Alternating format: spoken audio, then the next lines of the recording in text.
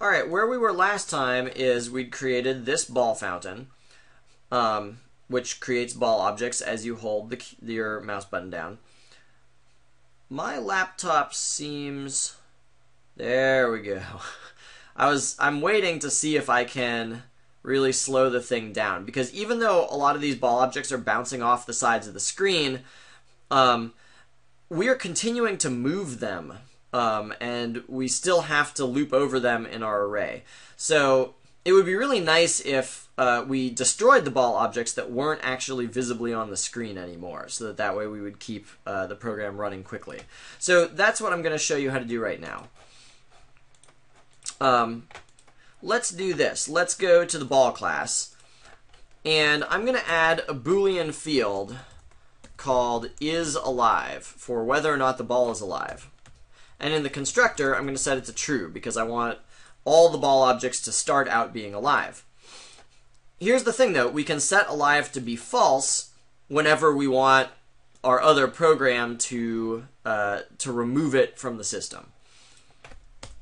So let's start this way. Let's add um, public void is off screen.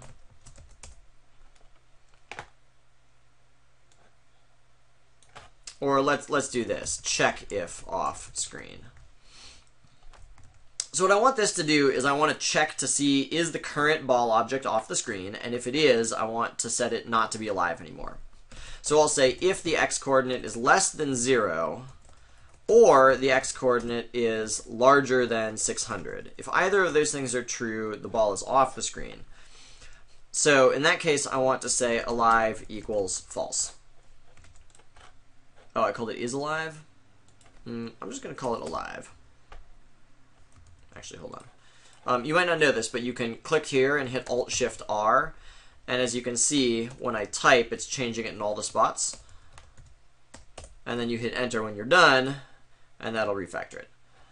Alright, so I'm going to set alive to be false. Cool. So now I want to check if it's off the screen all the time. So back here in Fountain, um, let's see, this is when I press the mouse. I'm not interested in that. Here's where I'm looping through all the objects, and I'm getting each one out of the list, and I'm drawing it, and I'm moving it. Here at the same time, I want to say, check if it's off the screen. And now I want to say, if the ball is dead, I want to take it out of the list. Because if I take it out of the list, it's not going to draw anymore.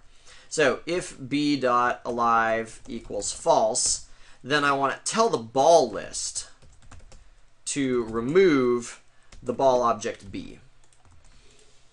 Okay, just a quick note. If you are using a for each loop here, um, this is going to give you a concurrent list modification exception.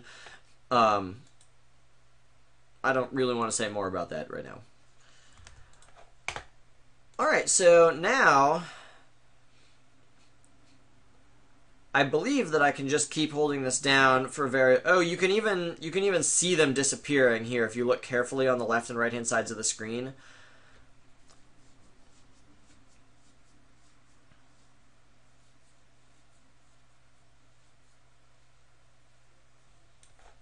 Let's do this. Let's give them a shorter lifespan even than that.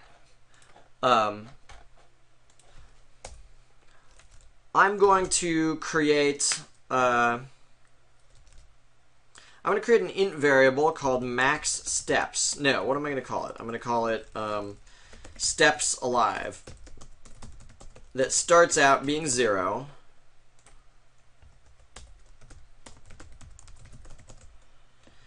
And then each time I move, I'm going to increment steps alive. So this will count how many times has my ball moved in its lifetime.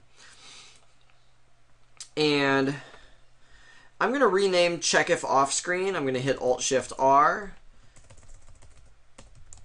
And I'm going to call it check if dead. So I want it to be dead if it's off the screen, but I also want it to be dead if uh, if it's been alive for too long. So let's do this. Um, if steps alive is larger than, let's say it's larger than 80, then I want alive to be false. So this should uh, every time I run move, it's going to say that I was alive one more time. And then when I check to see if I'm dead, if my total number of steps alive is more than 80, then I'll set alive to be false, and over here it should remove that object from the list. Alright, let's do it. So there you go. They're all disappearing, and that must be where 80 steps is. It's kind of interesting that that happens to be right at the apex, it looks like, of uh, the trajectory. Um, let's fiddle around with this a little more. What if we want it to be like 120? So that'll give it a chance to go down a little bit first.